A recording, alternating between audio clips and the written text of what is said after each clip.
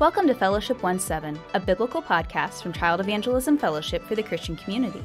On this podcast, we discuss various biblical topics, passages, and truths, and how those truths have impacted the lives of people around the world. I'm your host, Elizabeth Griggs. We're meeting with Brendan Troost again, and we're finishing up our discussion uh, concerning man being made in the image of God and how the fall of mankind affected God's creation. So, Brendan, can you just give us a brief recap of yourself and then of our previous episode? Sure, yeah, it was a lot of fun. So, I'm uh, the associate director of our Global Partnership Ministries department. That's our fundraising department, and we work here at the headquarters to raise money for the whole world. And uh, yeah, last time we were on the, I was on the podcast. We talked about um, we talked about the fall of man. We talked about actually us being made in his image and how it relates to the fall of man. And we talked about boys and girls and, and how that affects them. And, and sort of in summary, I would say that we looked at how God is sovereign and how man has this desire to be sovereign over our own lives, mm-hmm. particularly the unsaved individual. But that when we become a believer in Christ, uh, that desire for dominance changes to a desire to fulfill God's plan on earth. Yeah. And his plan, of course, is that we are to go into all the world and share the gospel. It's the Great Commission. And uh, because of our sin nature, there's challenges to that, but God provides the strength, God provides the power behind any of our words. And we specifically talked about the power that children can have to be missionaries mm-hmm. um, and how we they're not just the receivers of the gospel they're our great mission as child evangelists but they're actually the doers of this mission right. uh, as well uh, entrusted by god to go out and to share with their friends and family and people they meet all right well thank you uh, we're going to dive right back in and we we touched on man being made in the image of god man's fall um, and then we also have, toward the end of our statement of faith, this reference to being born again by the Holy Spirit. So can you kind of explain to us what that means? Sure, absolutely. And I love talking about the Holy Spirit because it is incredible where we are right now in the history of the world, right? Mm-hmm. Because prior to Jesus dying on the cross, you had people who believed in God, right? And if you're if this is a new concept to you, this is this is fascinating to me that those people walked and went about their day without being filled with the Holy Spirit inside of them on a daily basis. Right. We actually see in Scripture that that happens after Jesus dies on the cross, and He says, "I have to go." Uh, and but I will send you one who will remain with you forever, and that is the Holy Spirit to dwell inside of us. And many people say that begins at the day of Pentecost, where that holy indwelling happened. But it happened because Jesus died and created a way for God to dwell inside a sinless man, uh, in an intimate way, like he once walked with us in the garden, that right. level of intimacy, mm-hmm. and then was separated by sin. So, right now, we have the indwelling of the Holy Spirit living inside of us. And I want to talk about this real quick uh, relating to children. Yes. And um, I don't know if you plan to talk about that later, but but I'm really passionate about this one particular topic. So, so John chapter three, verse six and seven uh, reads that that which is born in the flesh is flesh, that's pretty obvious to us. Right. It goes on then to say, And that which is born of the Spirit is spirit. Do not marvel that I said to you, you must be born again. And so when we think about uh, us going out and, and doing missions work, mm-hmm. um, that's us in the flesh going out to doing something that we're trying to do in the spirit because God has the power, right? Right. Not us. Doesn't matter how good we are. In fact, the, the scripture says that God's word is to, to confound the wise. So, so here are the children in this equation. So we, we often think about children, like I said earlier, being the recipients of the gospel. But is the Holy Spirit that is living inside those children any different than the Holy Spirit that is in you or me? No. That's the same Holy Spirit, right? yeah. You know, there's only three parts of the Trinity. There's not a junior. Holy Spirit, right? Right. So there's a real full fledged God Himself in Holy Spirit form living inside these little children. And when they're going out there to talk to their friends and their family, they don't have a lesser Holy Spirit working mm-hmm. through them. They don't have a, a, lesser ability to share the gospel or to be on mission or to be full evangelists like us. If the work is done by us, but the power comes from the Holy Spirit, and it's the same Holy Spirit who are we to say that they are incapable of doing amazing things for the kingdom of God? Right. So we just need to revolutionize the church. You and Yeah. me right here, Yeah. right now. Let's go. we need to tell the world that these children are not just something that we need to put off in a side room and we're going to get the real business done in the Right. chapel. We need to be training these kids to go out there and to share with a lost and dying world that doesn't understand hope that Jesus is real, that God loves them, and Mm-hmm. that they, if they believe in Him too, can have an intimate, spirit led life just Yeah. like these kids. Yeah. Well, and I've I've worked with kids for a number of years. I've been in a daycare and public school, and I've been in kids ministry my entire life. Um, and kids have no filter Yeah. either. That's true. So the Holy Spirit is not restricted in that Mm, way either. For adults, we have this mentality of how the world is supposed to be run and how we're Mm. supposed to present ourselves, and that, oh, we can't do that. That's not acceptable. Right. But a child, I mean, you have a breakout and they come up to you. What is that on your face? they don't have filters. No. So God, God is has so much. Not, I'm not saying we're limiting God as adults, but we try. We tend to uh, limit ourselves. I would say as adults and being open to the moving of the Spirit, and kids don't have that. No. Kids just go and do. So yeah, I mean that's a great point. Being born in the Spirit, and um, it doesn't it doesn't just happen to adults. This is something that entirely is possible for children if they believe. Mm. Yep. So yeah. Um, so, with that in mind, what do we mean when we say that a new nature, a new life is implemented by the Holy Spirit through the Word and is absolutely essential to salvation? Right. So I would say that to walk in the Spirit is the method by which a believer should try to live their life. We're, we are given a calling by God. Um, and then we often say, well, what, how, how do we live out that calling? You know, many people think, what is God's will for me today? Right. right? And uh, I was having a conversation with somebody the other day, and they said, "I don't know what I want to do for God. I don't know what what He wants me to be doing." And I said, "Well, let me ask you a question. Um, have you ever been to a church where there's maybe an older gentleman who is the first guy to show up at the church, usually the last one to leave? He's generally very quiet. He is the guy who's setting up the tables, setting up the chairs. We all kind of know one of these Yeah. people, right? Yeah. The, the guy who is not assuming, doesn't stand up in front of people, but is always there to serve God in any way possible. Right. Now, imagine that you're in heaven, you've died, you've gone on to heaven, that guy is there.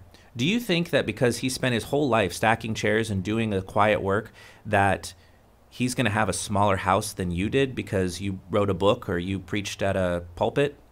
No.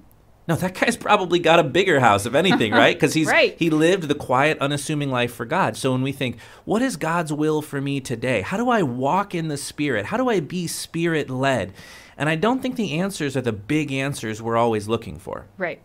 I think those answers are that we're willing to do the thing that God wants us to do tomorrow. It doesn't have to be an occupation, mm-hmm. and it doesn't have to be some life change where we throw everything to the wind and we jump in a plane and we go off into the the you know hither and yon to share the gospel. Right. If that's an opportunity and God gives it to you, do it.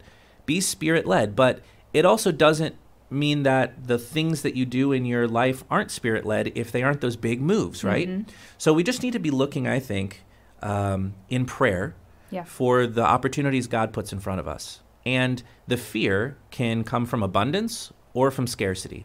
We can be afraid that God has given us big opportunities that are going to shake up our whole life. And we should be afraid if we're looking around and we don't see opportunities. Yeah. Because it's not that God's not giving them to us, unless, of course, we're in sin and God is putting us on the shelf. Scripture does talk about that. Right. We got to get right with God to be able to be in that spirit led situation.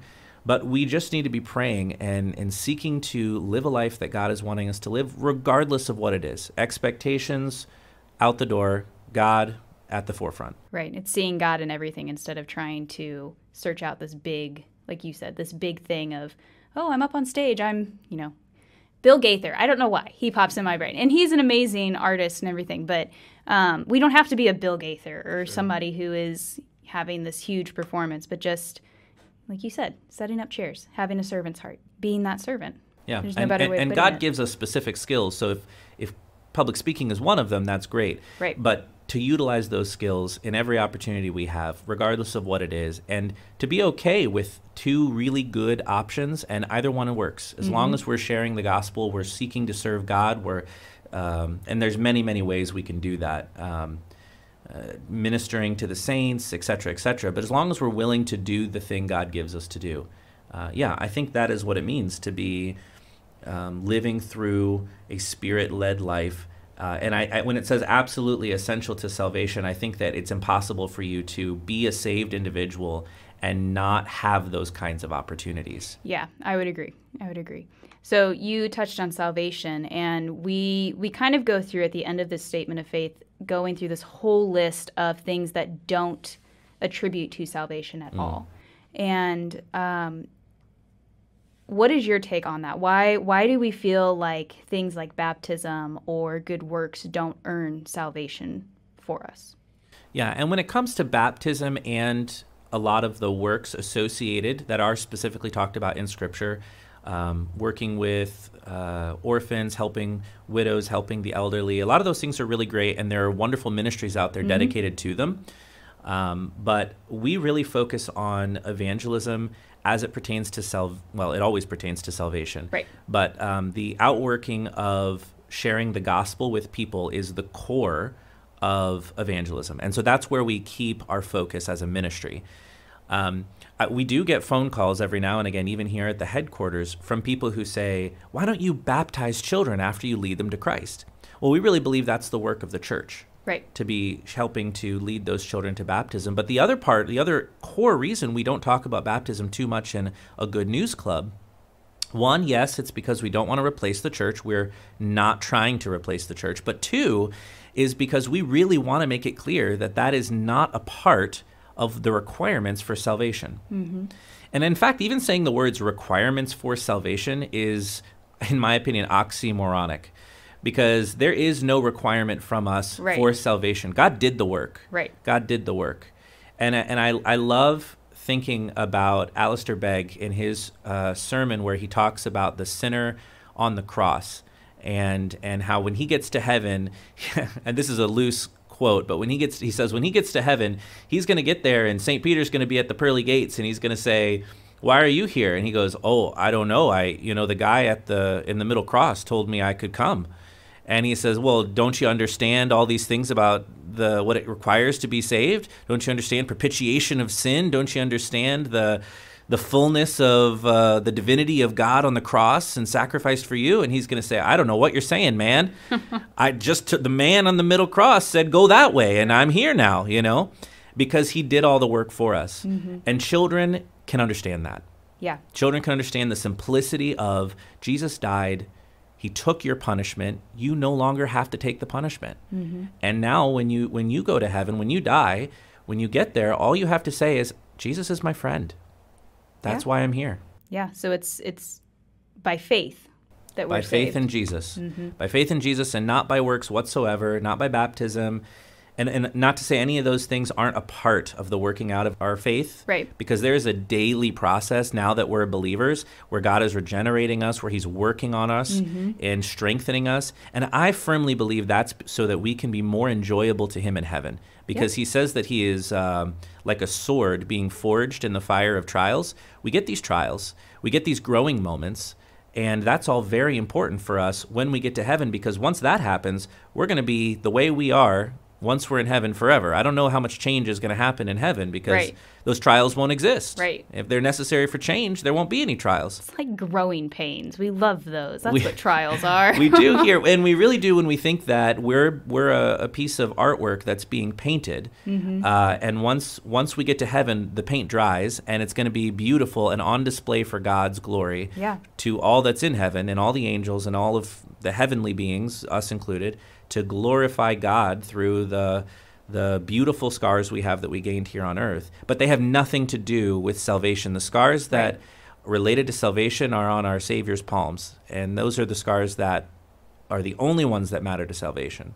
So I really like the way you put that. The only good work, if you will, that pertains to our salvation, getting salvation, is the good work that Jesus did on the cross. Amen. That I like that. Good point. Um, yeah, and then we just we see how you know our our faith is grown and our relationship with Jesus grows as we go through those trials and everything, and that's what produces those good works. So, um, all right, well, we are out of time. Thank you so much for joining us. I've like last time, a lot of new takes on just things that you know we've grown up hearing and hearing somebody else's perspective on it and seeing how God has used certain scriptures that maybe we've always interpreted one way and he's showing you a different side of Mm. it. It's been very insightful for me and uh, I've really enjoyed sitting down and talking with you. So thanks for joining us. Yeah, thank you. Yeah, anytime.